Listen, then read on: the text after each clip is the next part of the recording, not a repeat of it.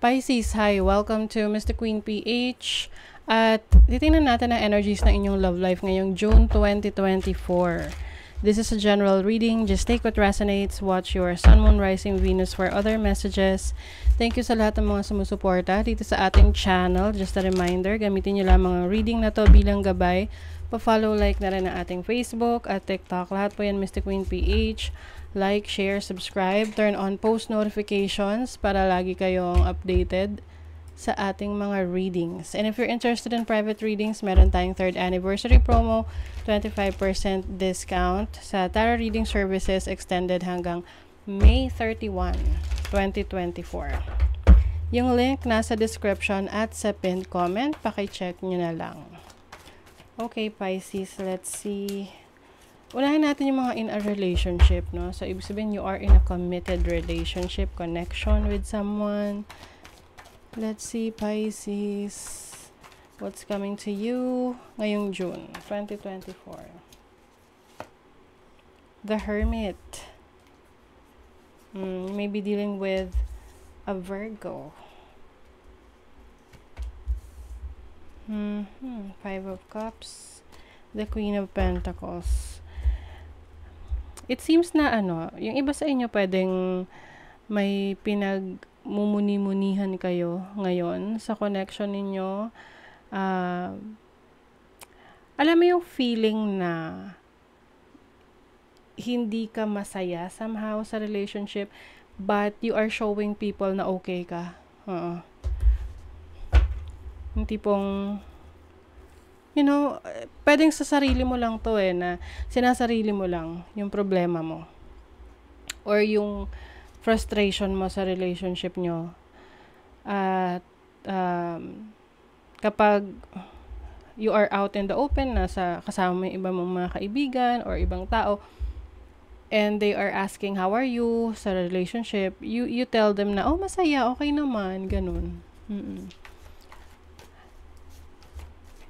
I, I also see someone na may regrets, no? Pwedeng nagsisisi ka sa naging decision mo or sa relationship na pinasok mo. But for some of you, iniisip nyo na this is the practical type of relationship. Mm-mm. Inisip nyo, eh, ganito eh, mas okay, mas um, practical for you to be in this relationship pwedeng yung person mo ay ma maayos mag uh, mag-provide for you. Oo, well provided ka. Yung mga pangailangan mo, yung needs mo, ng family nyo, kung may family na kayo. But something's missing. Parang may kulang. At yun yung hinahanap mo ngayon. Pwede kasing, yung iba, pwede kayo ay malayo sa isa't isa, So, syempre, uh, pwedeng abroad yung person mo or ikaw yung nasa abroad. You feel like pa pakiramdam mo mag-isa ka lang. Alam mo yun, na kahit na in a relationship ka. What is the hermit? The Four of Pentacles. I feel like you're trying to keep your relationship together, no? Oo. You are holding into this relationship. Kahit na uh, you're somehow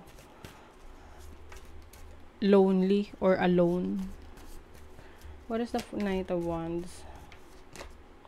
The Emperor. Pwedeng kadil mo ay isang Aries.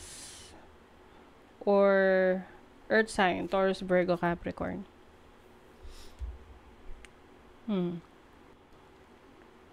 Medyo, pwede kasi the person that you're dealing with medyo stricto or hindi siya ganun ka-expressive sa nararamdaman niya sa'yo. Parang feeling mo, hindi ka ganun ka mahal, no? You're not that wanted. Kasi iba pa rin yung ano, sinasabi, no? Although, uh, sabi nila eh, ano, action speaks louder than words. But there are some people na confirmation nila yung words kasi. Dahil may mga tao na hindi kayang sabihin ng isang bagay kahit na yun yung totoong nararamdaman nila. What is the Five of Cups?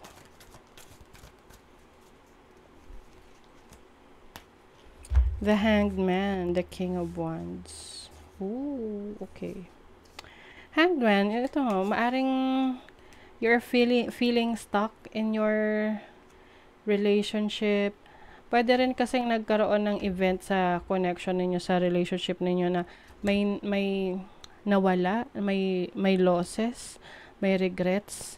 Pwedeng yung iba sa inyo uh, kung kayo kasal na or nagsasama na, pwedeng nagkaroon ng miscarriage in the past na nakaapekto sa strength ng relationship ninyo. So, you may also be dealing with a fire sign, Aries, Leo, or Sagittarius.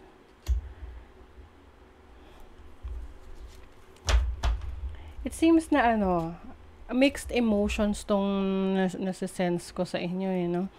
So, pagdating ng June, possible na meron kayong pagdaan ng challenge ng person mo. Pwedeng may kinalaman to sa past na ibabalik, no? Pwedeng naging problema nyo in the past, tapos magkakaroon kayo ng misunderstanding, tapos biglang ibabalik yung nangyari, may sisisihin, and possible na yun din yung maging reason para lalong maging uh, parang medyo maging malabo yung relationship ninyo.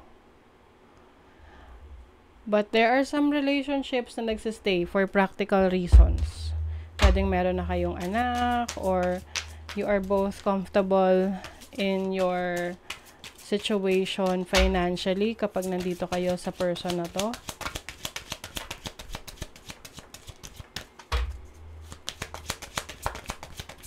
For Pisces in June 2024.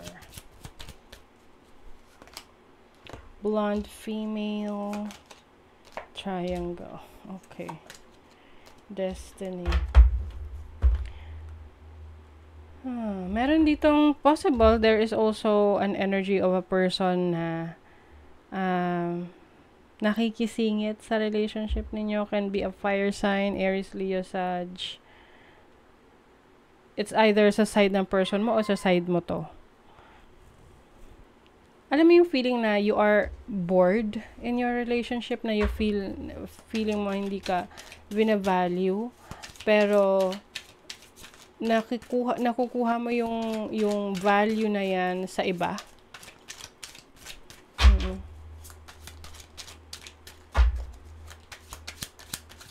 And you feel like this person is somehow siya yung Pwedeng third party, okay? There's another, th there's, there's a third person in this relationship. Possible sa side mo. What is the, ano feeling ng person?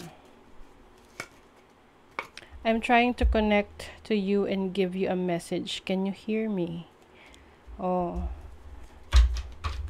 Parang hindi mo na pinapansin. Merong gusto sabihin sa yung person mo. May mga times hindi mo na siya pinapansin.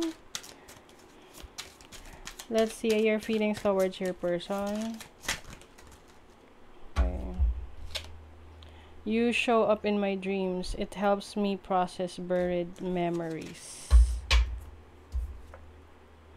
I long to sweep you off your feet and shower you with my love it seems like there is distance between the two of you. Yung parang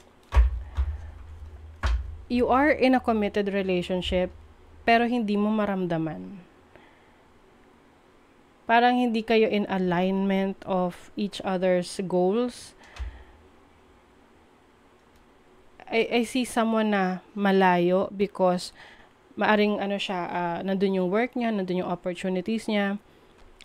And then, uh, maaring ikaw yung nabibigyan ng mga needs mo, kumbaga na, nasa-satisfy naman yung needs mo, like yung uh, finances, mga material things, pero yung presence niya, yun yung kulang.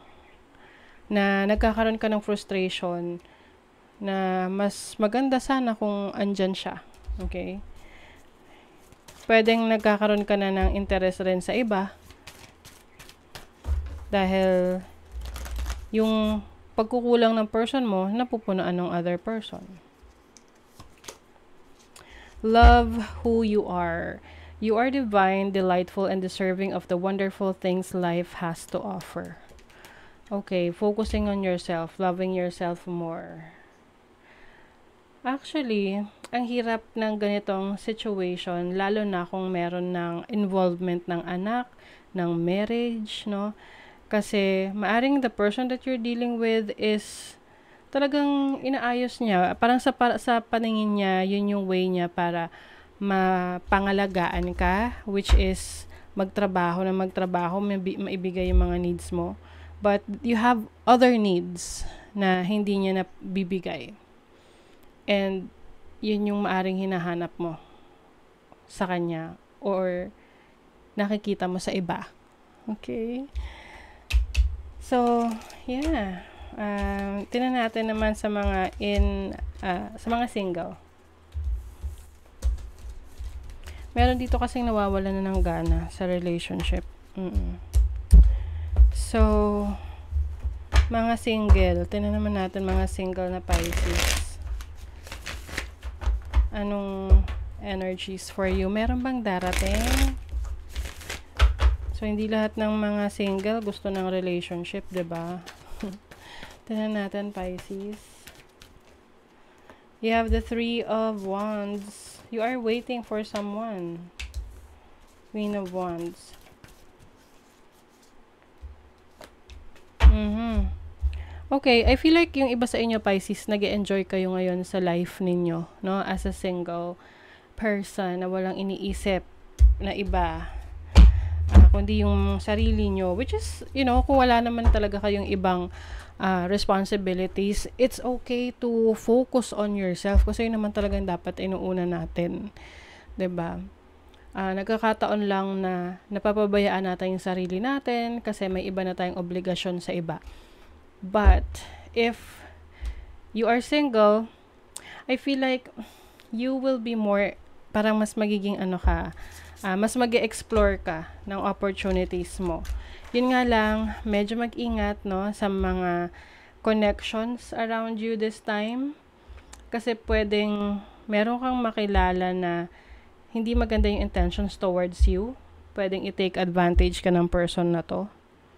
Okay? Siyempre, may mga pagkakataon na nasa sayo rin yan kasi pwedeng ikaw okay lang sa'yo na open ang isang relationship na walang commitment, 'di ba? Uh, depende yan sa ano yung expectations mo sa isang tao. So, if you are still, you just want, para ano, free-spirited yung energy nyo dito. You want to explore, you want to have fun, enjoy.